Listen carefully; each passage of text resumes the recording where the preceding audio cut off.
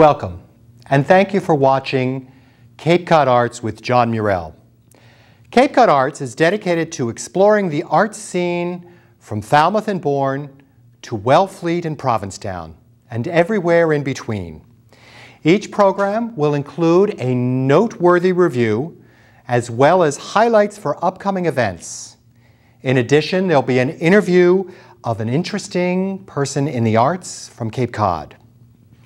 The arts encompass the visual arts, literary arts, of course, the performing arts, music, theater, dance, film, among many others. A bit of advice. The arts around us can only inspire us if we get in our car and go, right? It does take some effort on our part, and I believe there's always another thing for us to do, right? I suggest that you build in arts time into your week. Plan an event on Friday when the Cape Cod Times puts out its calendar section. Invite a friend and plan a meal afterwards. Symphony one week, a museum opening the next. Drive down to Wellfleet and attend a production at the Wellfleet Harbor Actors Theater. Give it a try. Here's another bit of advice. Recently, I went to a lecture on food. And the one bit of advice the lecturer gave me is that when I'm in the produce section, pick one or two pieces, uh, uh, vegetable or fruit produce that I've never had before and expand my vocabulary and my understanding of produce. I want to suggest that to you. Try to attend an event that you wouldn't necessarily go to. If you're a symphony person, try a musical at the Cotuit Center. Or if you're a gallery person, try a dance event. There's no guarantee that you're going to enjoy all these productions, but you're never going to know until you see it.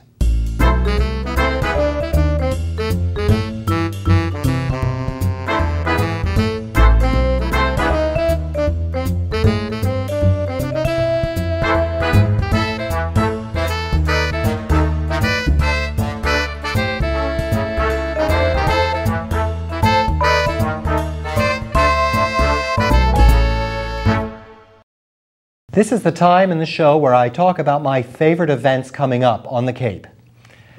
Uh, first of all, I'd like to recommend the Cape Cod Symphony on October 8th and October 9th, Cape Pops, Jazzin' with Pizzarelli, a fresh look at classic favorites. Jung Ho Pak conductor, John Pizzarelli on guitar with his trio.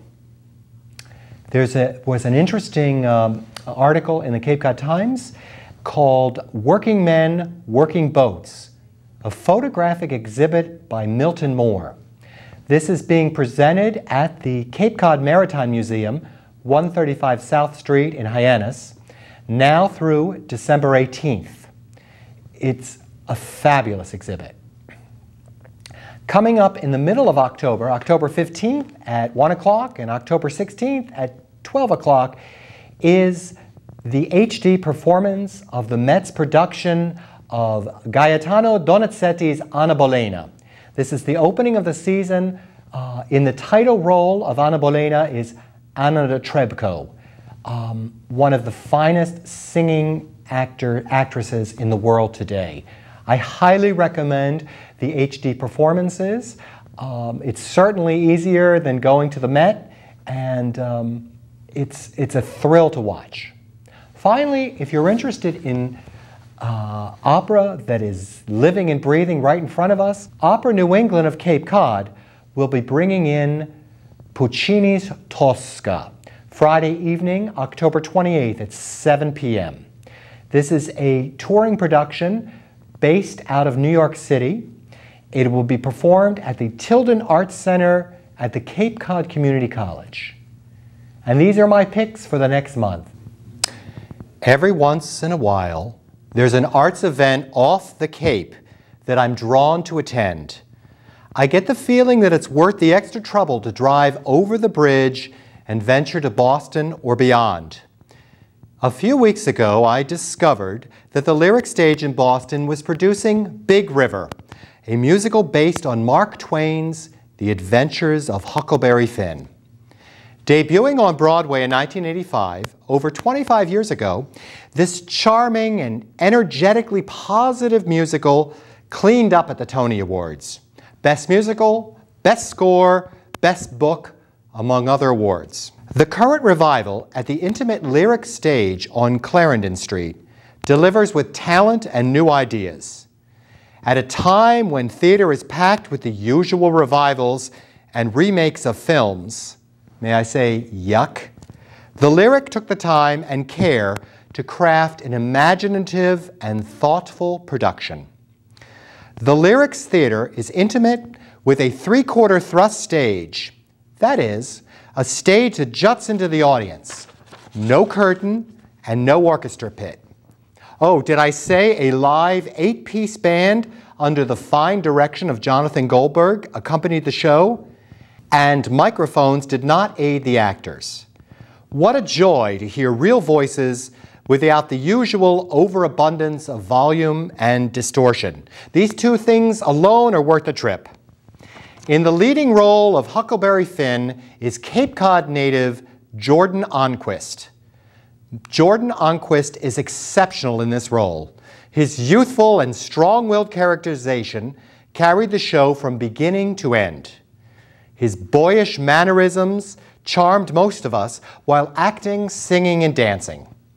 A frequent actor in many of Boston's finer theaters, his credits include a long run in Shear Madness. One moment that keeps coming back to mind is Mr. Ahnquist's reaction to hearing of his father's drowning.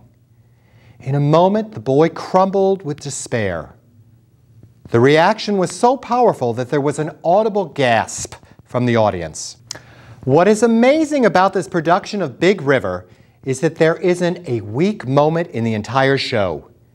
Each new actor entering the stage is skilled and inventive and adds to the overall fabric of Mark Twain's world on the Mississippi River.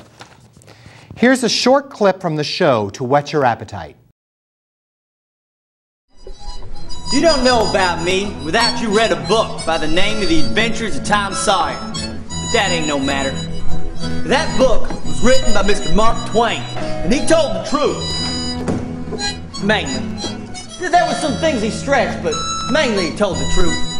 And I'm going to tell the truth in the story I'm enacting tonight. Look here, huh? Do you want to go to heaven? Do you want to go to heaven? Well, I'll tell you right now. You better learn to read and you better learn your writing. Or you'll never get to heaven cause you won't know how. In fact, sometimes it seemed like everybody in the whole blame town of St. Petersburg was trying to tell me who I should be. You want to come to dinner? Wanna be a winner? You want to think it over? Want to be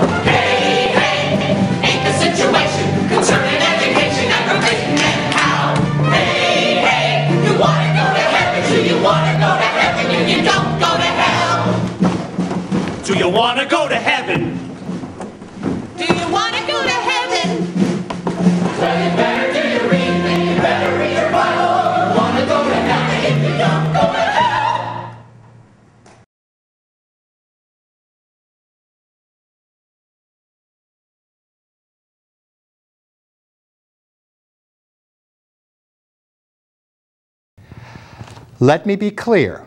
This is not a hyped up, factory like Broadway touring production, but a thoughtful and soulful performance highlighting the fine talents of Boston actors. Big River runs through October 8th at the Lyric Stage. I cannot recommend it enough. It's worth the trip driving over the bridge to Boston. For tickets, call 617 585 5678. Tell them John Murrell from Cape Cod Arts sent you.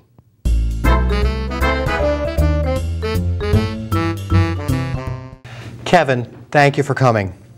Now, could you tell me and our audience what exactly is the Arts Foundation of Cape Cod?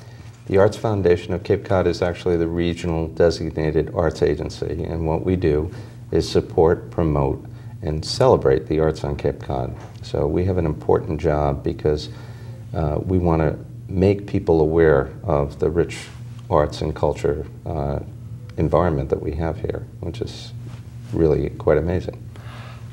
I've been here, I think I'm on my 14th year, maybe 15th year.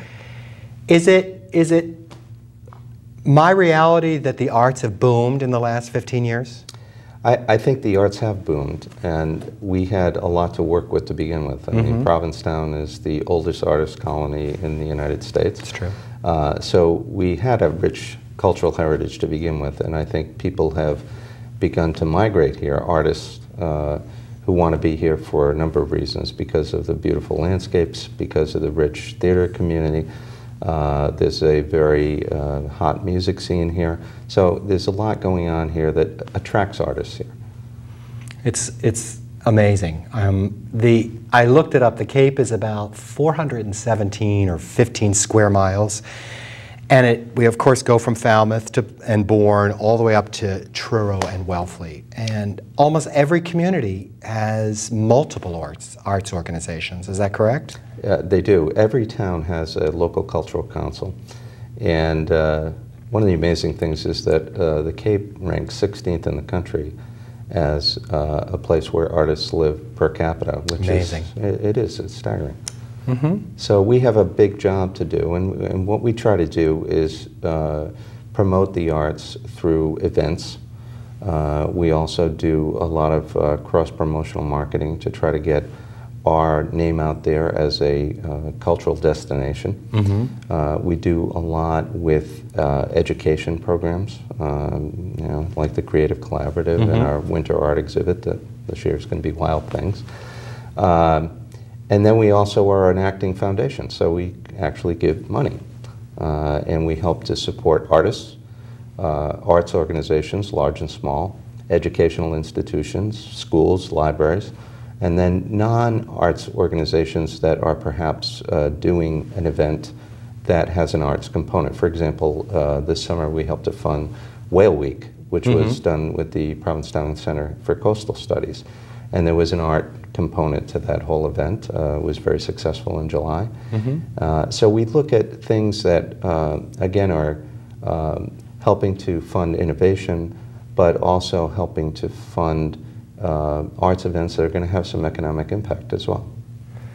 You know, you talk about the economic impact, and I remember in June this year, you wrote an amazing letter to the editor, letter to the editor, editorial, and in it you discussed um, how the politicians in Kansas have uh, taken out of the budget all arts funding. Um, and I think their belief is that arts should sustain themselves. And you sort of, uh, you know, took off, you know, put on the brass knuckles and went for it.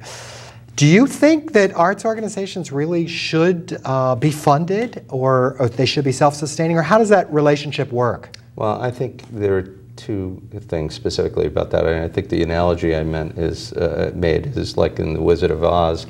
You know, we're not in Kansas anymore, Toto, but you know, in the beginning it's black and white, and then it goes to Technicolor, and I, I kind of feel that's what you're going to get with a, uh, a culture that is not funding the arts. Uh, you're going to have a black and white culture. But apart and aside from that, um, all uh, arts agencies need some seed money. Um, for, for example, uh, the Massachusetts Cultural Council does a cultural investment portfolio program. Uh, they fund many of the arts organizations on, on, in the Commonwealth, including uh, some of the most important ones on the Cape here. Um, additionally, the, we can't sustain um, some of the arts organizations that we have without a little support. Uh, and, and again, I think that they all do good work that supports the cultural community and also has an economic impact. I mean, we can't be completely dependent on beaches as our calling card. Right, and restaurants, yep. Right, right. And I think that um, the arts have a very important role to play, and we are uh, rich with galleries and museums and local theater uh, in music that is really um, competitive with anywhere in the country. Do you really believe that? Uh, I absolutely believe that. So we don't need to go to New York to look at art? I don't think you do. I really don't think you do. Oh, and, and we're very lucky. We've got many sub-regions here. You know, if you take Wellfleet and, and Provincetown, I mean, there are many galleries of beautiful uh, art uh, artists that are there uh, in all mediums. And uh, you take a section like Dennis, where the Cape Museum of Art is. Uh, there are many galleries around there. There's the Cape Cinema, which is kind of classic. You can see the Met there Yes. um, the Cape Playhouse, um, you know, the, the, the list of uh, famous actors and actresses that have, performed there is, is legendary.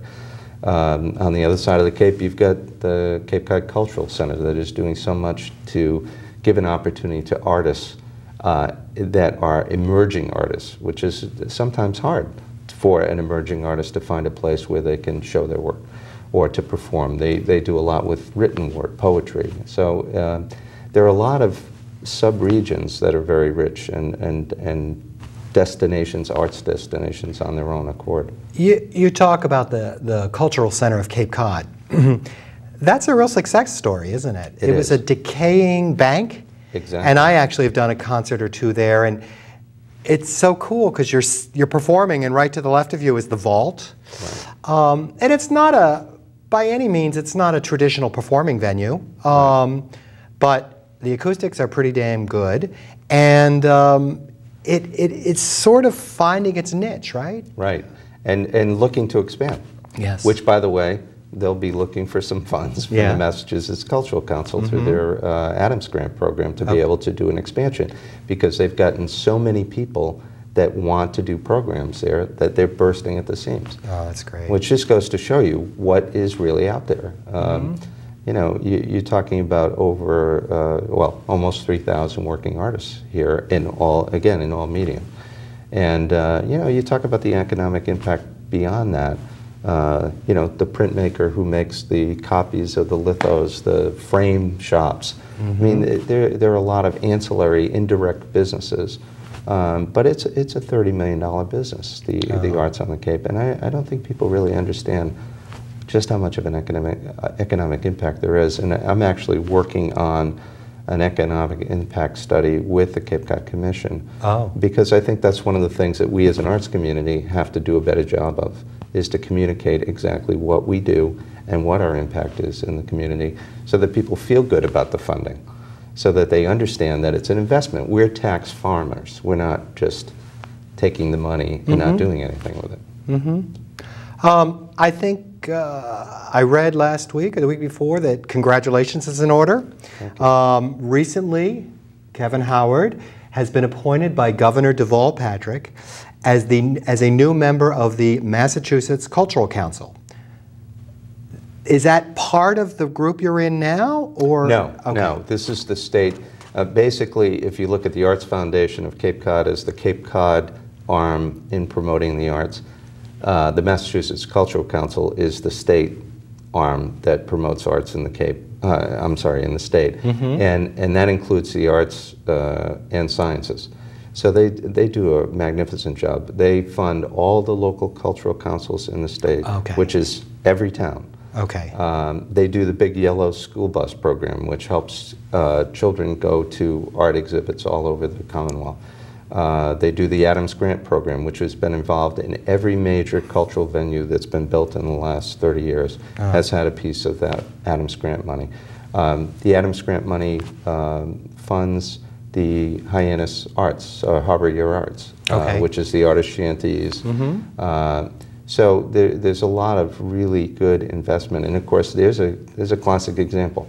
You invest in artist shanties, all of a sudden the waterfront becomes a walking waterfront where people are coming.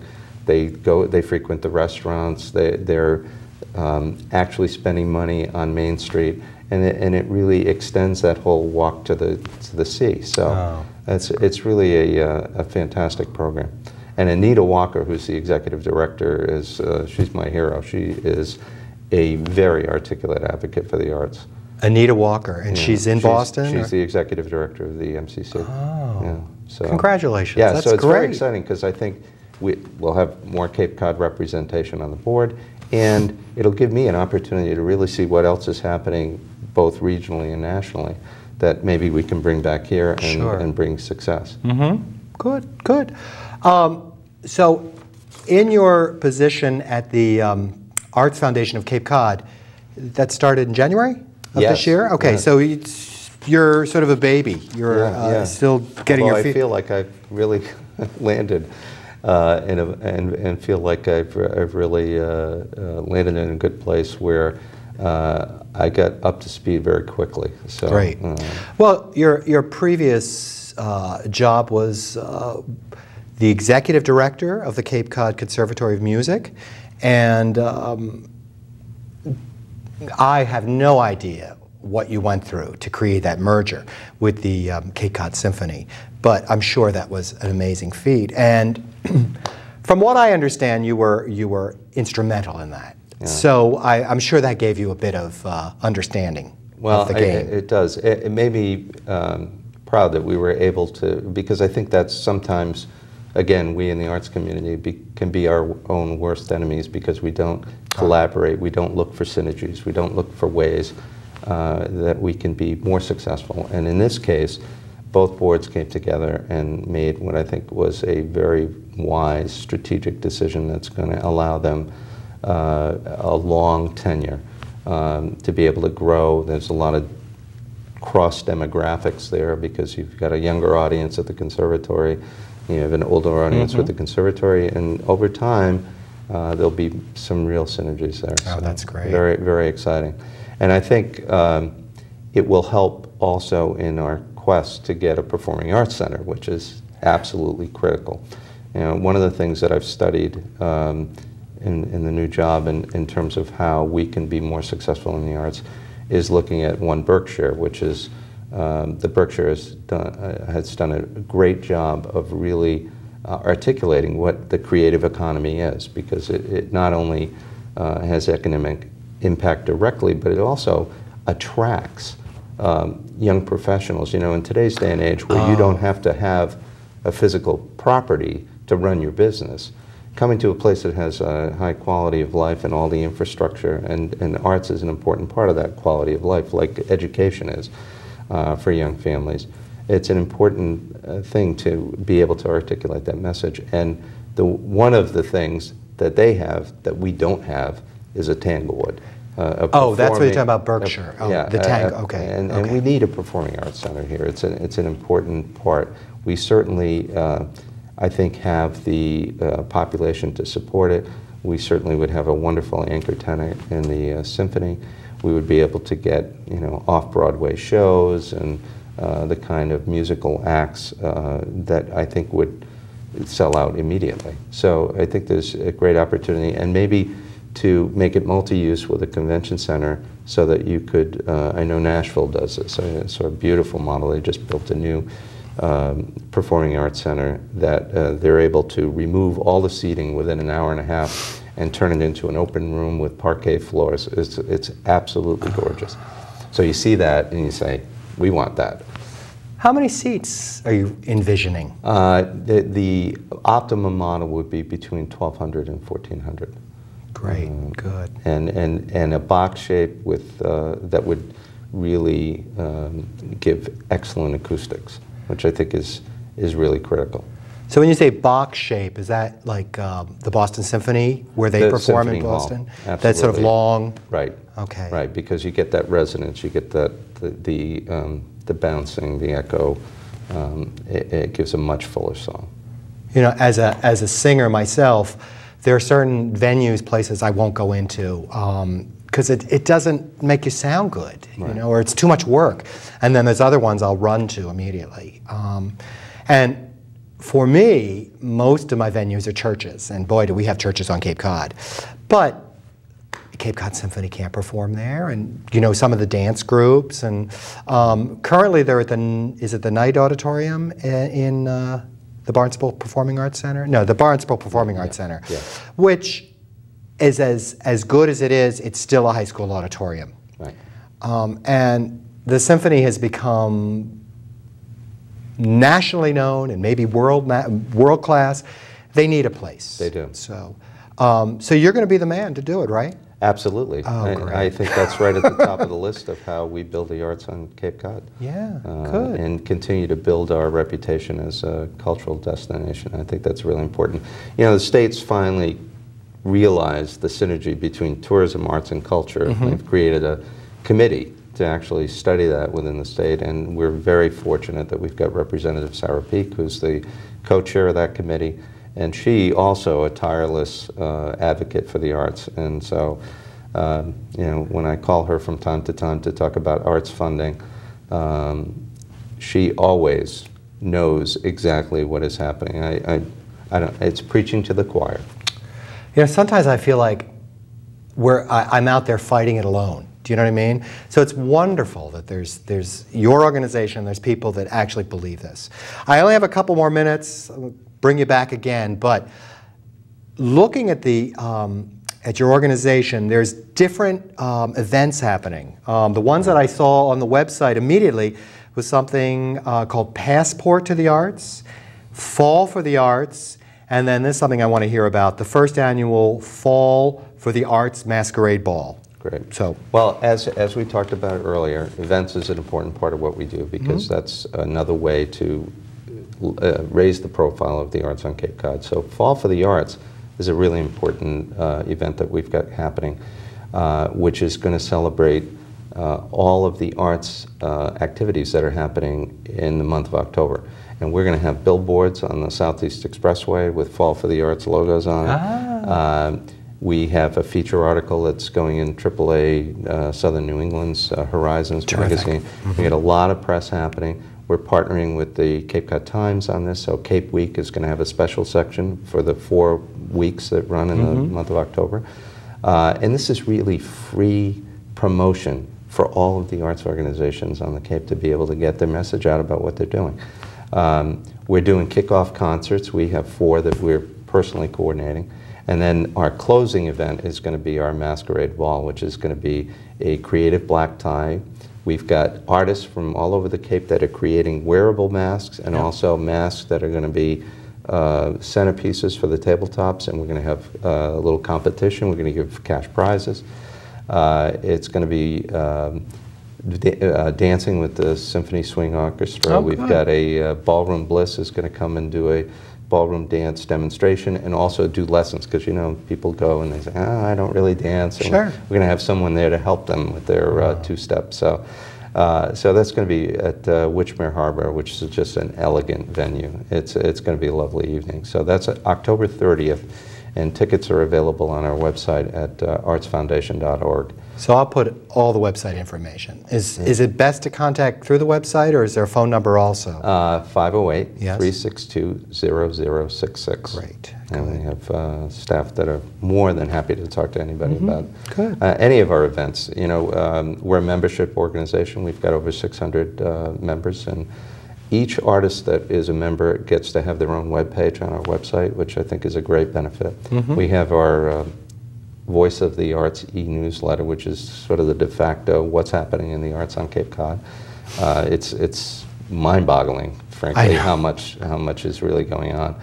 Um, but we also have uh, the Creative Collaborative that'll be coming up in the in March, which will be an opportunity for uh, artists and arts organizations to come together and talk about the things that they're doing and how they might work together and uh, some professional workshops. So. Um, then we do this little thing for 15,000 of our closest friends called Pops by the Sea. yeah, right. So uh, Got a little rain the- this year, right? Yeah, a little bit, but it was it- you know it, this year we had the Farrelly brothers and a surprise guest in Larry David, who was on Rolling Stone cover the week before. So uh, it was upbeat because people were. Uh, you know, getting in the mood of okay, I, I guess this isn't going to be the optimum sunny day. So Yeah. uh, everybody really had a good time. It was fun. Well, when you do stuff outside, that happens. Weddings, everything. So, Right, right. Kevin, it's been great talking to you. I'm thrilled that you came and shared with us about the um, Arts Foundation of Cape Cod,